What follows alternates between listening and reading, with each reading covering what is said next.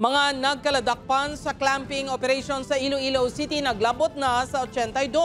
Iloilo City Treasurer's Office may personnel ibutang kung weekend. Inianggin tutukan ni Kim Salinas.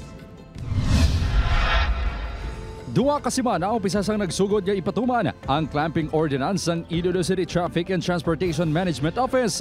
Naglabot na sa 82 ka mga salakyan ng ilan na clamp nga nagapasaway sa dalan.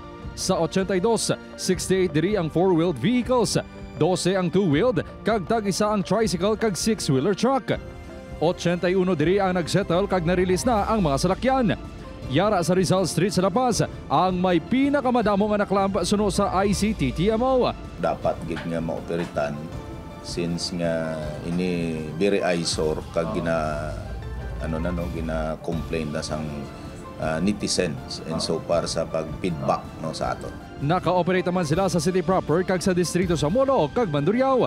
Talulopang doon suno sa Iloilo City TTMO nga nagtulutawhay ang mga dalan sa gin-operate nga lugar. Samtang, ginpahayag ni Garbanzos nga may personnel na sang Iloilo City Treasurer's Office nga mag-aakomodar sa luyag mag-settle sang ila bayolasyon bisan pa sa weekend kag holiday. mag-operate kami sa weekend kag ah, holidays ah, magahatag sila sang tao ni para sa overtime Upod Caramel Porquia, Kim Salinas. 1. Western Visayas.